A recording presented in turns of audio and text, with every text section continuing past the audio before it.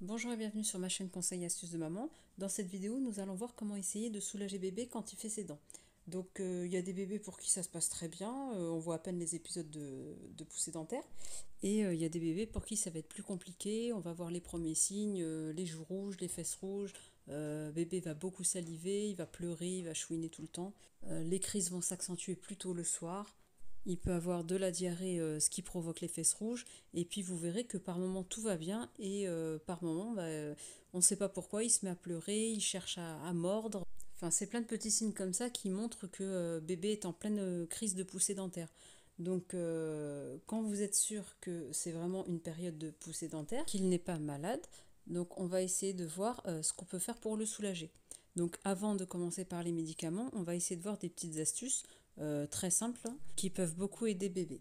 Donc là, vous avez le petit anneau classique, euh, anneau de dentition euh, qu'on donne au, tout petit bébé. Donc il peut l'attraper avec ses petites mains, il mâchouille, voilà, c'est exprès pour les bébés. Donc on a ça. On a l'anneau de dentition réfrigéré. Donc ça c'est très bien.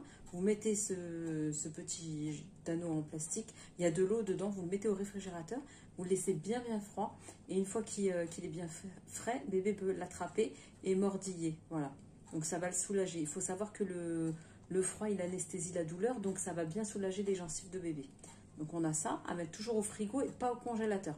Pour faire attention que bébé ne se brûle pas les gencives avec, euh, avec euh, les gencives et la bouche même avec, euh, avec le froid. S'il est vraiment congelé, il ne faudra pas lui, lui donner.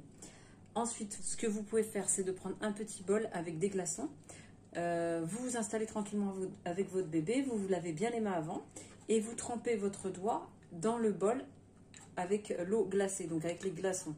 Euh, vous mettez votre doigt, votre index dans la bouche de bébé et vous massez ses gencives comme ça à l'intérieur. Vous appuyez bien autour, tout autour, vous faites le contour. Et vous retrempez votre doigt à chaque fois dans l'eau glacée.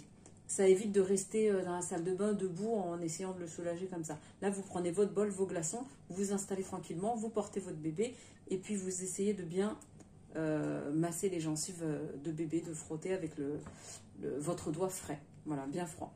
Donc il y a cette méthode-là aussi qui peut aider.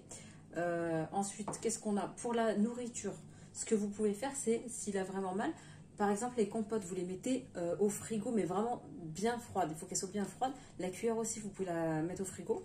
Et euh, du coup, bah, comme je vous ai dit, avec le froid, ça anesthésie, ça fait du bien, ça soulage. Donc, on met la nourriture, euh, la nourriture au frigo, comme ça, ça, ça va l'aider à mieux manger.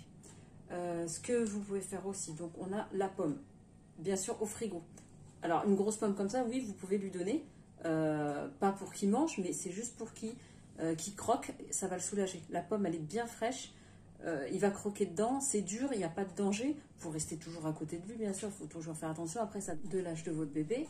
Et euh, si besoin, vous l'épluchez la pomme et vous lui donnez comme ça. Mais vous restez quand même toujours à côté de lui. Hein. Donc ça, ça va bien le soulager. Il va mordiller dedans, ça va remplacer le jouet. Donc on a ça. Et il y a aussi, ce qui est très bien, la carotte, pareil, au frigo. Donc vous l'appelez, vous la lavez bien, bien sûr, comme la pomme et vous pouvez lui donner, voilà, vous donnez une grosse carotte hein, assez large. Euh, bébé pourra l'attraper et il va bien mordiller dedans. Donc ça va, beaucoup le soulager, ça aide beaucoup les bébés ça. Et puis c'est de la carotte, donc il n'y a pas de, de souci, ça sera bon pour lui aussi. Donc ça c'est très efficace, euh, toujours au frais. N'oubliez pas de mettre les, ingrédients au frais pour soulager votre bébé. Euh, voilà. Sinon, si tout ça ça marche pas, c'est pas suffisant. Ce que vous pouvez faire aussi, ça dépend toujours de l'âge de votre bébé. S'il mange des, des petits Suisses, un petit Suisse ou même lié au bébé. Hein. Ce que vous pouvez faire, il y a des petits, euh, des espèces de petits gadgets comme ça qui se vendent. Euh, donc c'est pas vraiment celui-là, ce modèle-là, il est adapté pour les plus grands, mais euh, il y en a beaucoup pour les, plus petits. Vous pouvez même, mettre tout simplement un petit bâtonnet de, glace. Vous piquez ça dans le petit Suisse et vous mettez ça au congélateur. Vous n'êtes pas obligé de mettre tout le petit Suisse, vous pouvez le vider et mettre que la moitié. Et quand vous donnerez euh, cette petite glace, ça va devenir une glace, vous donnerez cette petite glace au bébé, donc il mangera son yaourt, son laitage, et en même temps ça sera glacé, donc ça va lui faire du bien. Donc ça peut aider aussi ça.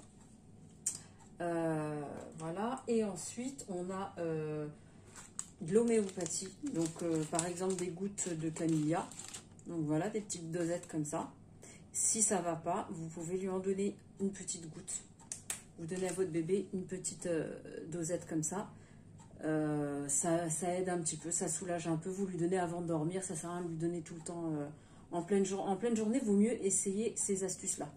Quand vous êtes avec lui, quand il est éveillé. Au moment d'aller dormir, donc soit pour la sieste, soit pour le, le coucher du soir, vous pouvez lui mettre une petite dose comme ça, ça va l'apaiser. De toute façon, c'est de l'homéopathie, c'est pas méchant, ça fera pas de, pas de mal. Et si vraiment, vraiment ça va pas, et eh bien là, on a le doliprane. Donc le doliprane, euh, bien sûr, s'il a de la fièvre, s'il est vraiment mal, donnez-lui euh, de préférence avant de dormir pour qu'il essaye de passer une bonne nuit.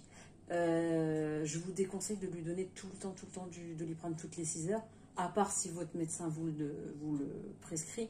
Mais pourquoi? Parce que déjà pour que bébé essaye de, de s'habituer un peu en quelque sorte à la douleur. En fait, je, ne vous dis pas qu'il faut le faire souffrir, mais euh, il faut qu'il s'habitue un petit peu à la douleur pour, pouvoir la tolérer un petit peu plus tard.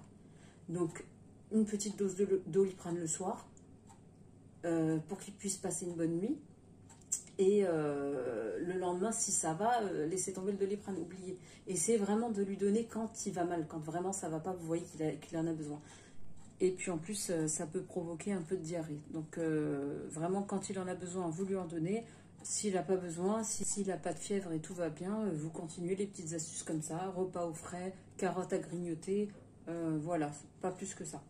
Donc euh, voilà, j'espère que ces petits conseils, ces petites astuces vous ont aidé. et puis n'oubliez pas de porter votre bébé. tant qu'ils sont petits, ils ont besoin de nous, donc il ne faut pas hésiter à les porter. Ils vont pas prendre l'habitude ou quoi. Ils ont besoin d'être portés, donc pour les soulager et pour être assurés, ils ont besoin de ça. Faut pas hésiter à porter son bébé. Voilà, j'espère que cette vidéo vous a plu. On se retrouve dans une prochaine vidéo. N'hésitez pas à vous abonner et à me mettre des petits pouces si vous avez aimé. Voilà, merci beaucoup. À bientôt.